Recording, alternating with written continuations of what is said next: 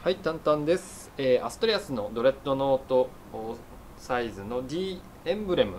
えーこちらご紹介改めましていたします、えードレッドノートのジャーマンスプルーストップのローズウッドもちろんオール単板モデルのおインレイが非常に綺麗なあの貝をですね、え入れております。トーチインレイも非常に綺麗でございます、えこんな感じの D エンブレム。えー上位機種ですね、えー年間、えー生産本数もあの少ない、えー極上品ということで、えー新品入荷でございますので、えーぜひ引きに来ていただければなと思っております。ちょっと鳴らしてみます。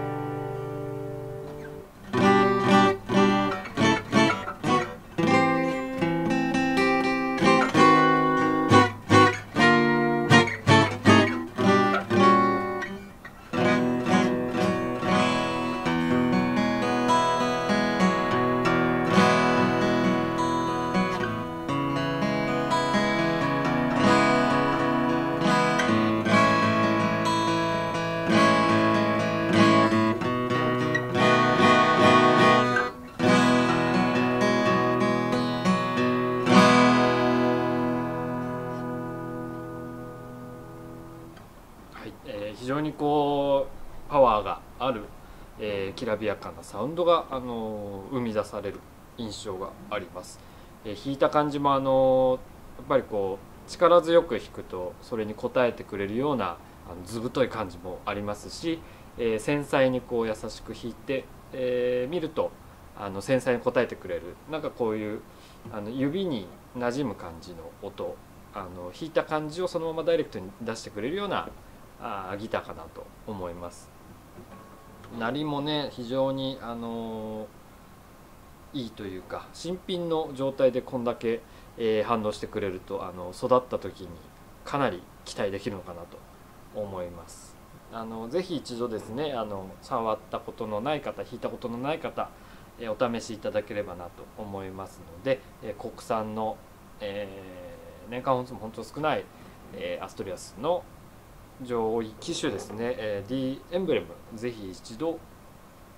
お試しくださいませ、えーせっかくなのでよいしょ。今在庫してございます。EC エンブレム同モデルの OM スタイルですね。をちょっと比べて弾いてみます「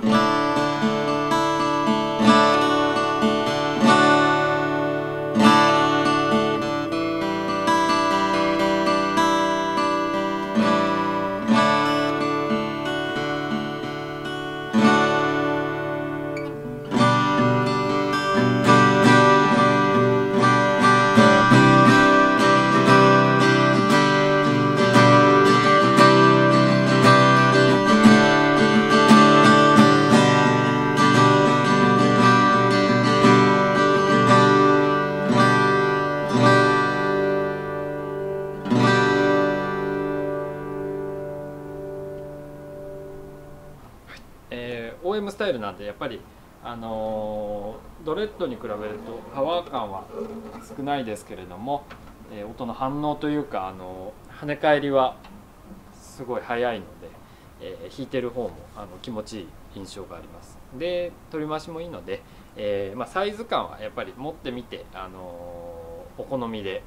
お選びいただければなと思っております。ということで、えまあ、こちらはドレッドノートサイズの、えーこういう厚みもしっかり持った、あのサウンド鳴りも抜群のあ個体でございます。のでぜひですね一度お試しいただければなと思っております、えーそれではアストリアスの D エンブレム、えーお問い合わせお待ちしてます。タンタンでした。